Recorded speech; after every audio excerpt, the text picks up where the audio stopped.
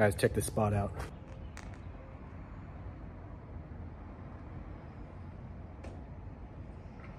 So it's got this like dip down in here with a plant boss in the middle.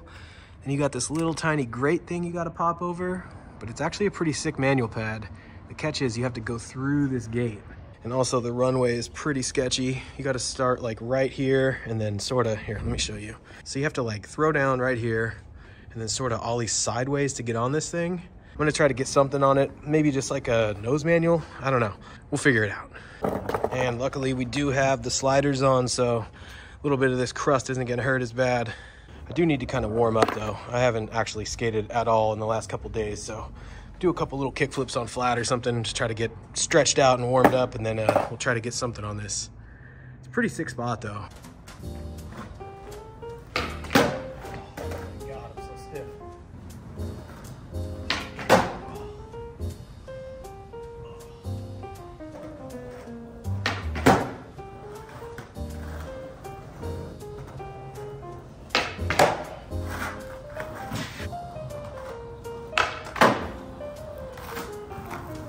think that's probably the best warm up I'm gonna get. Just a couple of like basically stationary kick flips. Um, so let's go ahead and just jump on this thing. Why not? So this place is like an abandoned hospital. I guess like the other side of this plaza is turned into a business now, but this whole area is pretty much abandoned. So it's kind of spooky. All right, so this is our starting point, And we got that much room to throw down. I think we could do it though. These things right here kind of get in your head, a little bit of a mental thing because like I said, you got to come basically right past it. So don't want to clip on that.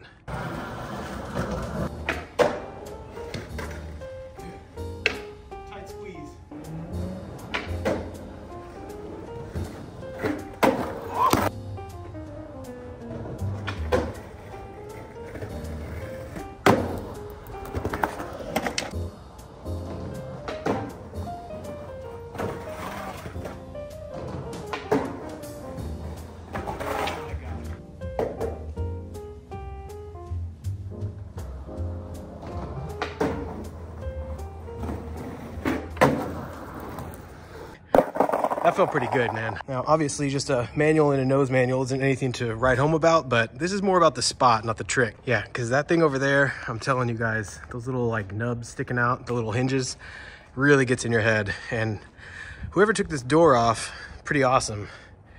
I mean, it looks like those are almost the same size as a skate tool, but I don't know who could have done that. Anyways, it still gets in your head because these little things up here are like right next to your face, it feels like, or you feel like you're gonna hit your ass on this since I'm regular, so.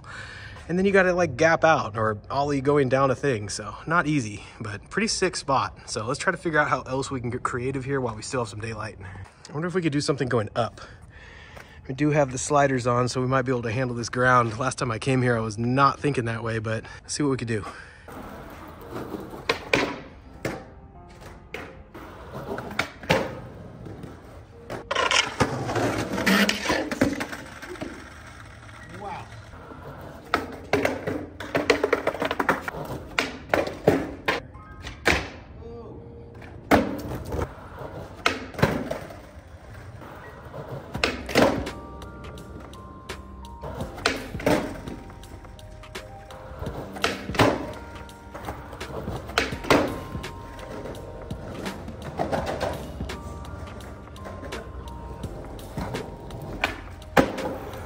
back around and try to nollie into the bank. Bank. Oh yeah, there's this like grate over here I stepped on and it felt like it was gonna cave in. So I'm trying not to go over that anymore. It's kind of weird up there. Like there's like limited space. It's kind of crusty, so wah. Whack. Oh my God, this, this plant got in my head. That's not the only one.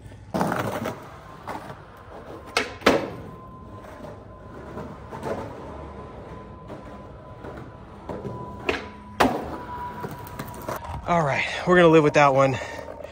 Holy crap. This spot's actually really sick, but I'm I'm kind of over it and the sun is pretty much leaving the sky. So we were so close to having a dry Saturday. I was actually on my way to a new spot a homie told me about and then like the raindrops started hitting the windshield. So we're back at the parking garage curb, just gonna have a cool little session and I mean, enjoy a Saturday. These ended up actually becoming like my favorite shoes, not only just to wear, but to actually skate in. And uh, if you guys remember a while back, I did a video on them and kind of gave them like a poor review for skating because the insoles are so floppy and just there's no protection at all.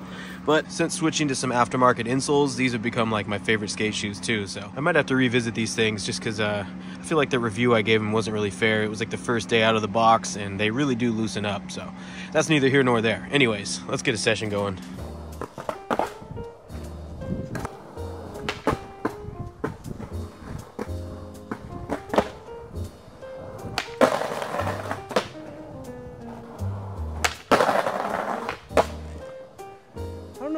I can always pop better nollie out of back 50s when I nollie into it as opposed to when I just like ollie into it. That's, I have no idea what that is.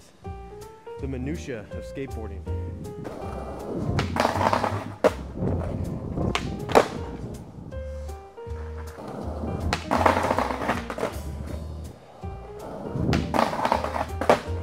Eh, can't count that, but almost.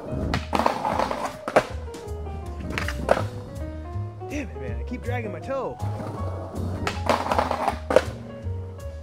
Whoa. there we got one.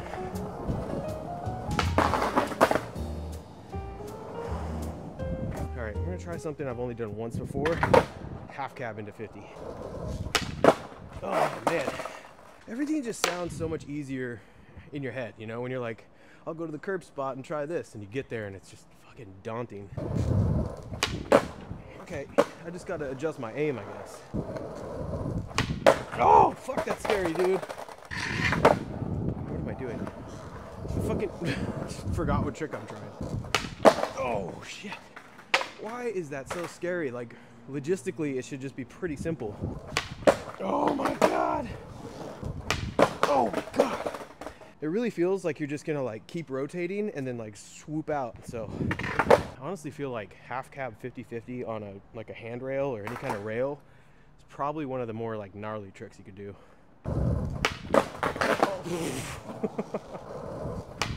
oh, so close. Oh, that's the movement, but it ain't the make. Oh my god. See what I'm saying? It feels like I'm gonna like over rotate or something and just get all caught up in my own legs. Oh, so that was almost it. Oh, that would have been, that was like in my head how I wanted to do it. You were so close. Oh.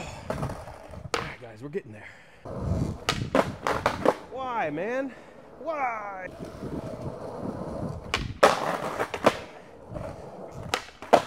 I'll take it.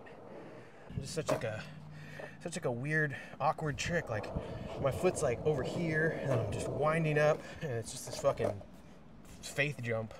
I love skating this little spot, dude. This is like my little my little dojo. I realize it's probably not always that entertaining, but I mean, you know, it's raining like this outside everywhere. It's like, where, what else are you gonna do? You know, I'm not gonna like go to the skate park and battle for turns between, you know, scooter kids and people that are fucking skating a lot faster than I do. I've been trying to get out to go to the Bay Area. I've been wanting to make a little mission down there and uh, film a video, but timing's been tough, and also it's raining on and off this time of year, so it's just kind of hard to predict. And you know, I'm not gonna drive an hour and a half to get down there and go skate essentially one of these. Oh, look at this guy. Hey, he was listening. Hope the video inspired you guys to get out and go skate. Again, I'll be giving you guys updates on the 93s. They're holding in really good. Like they made that hospital spot way more skatable than it was the first time I went there. So yeah, stay tuned give you guys any updates, uh, see how they do over the life of the wheel. And uh, I might even throw the radials on soon when I set up a new board because I'm kind of, it's a one wheel shape from Spitfire, haven't really tried. All right, y'all, that is gonna do it. I will see you on the next one. Peace.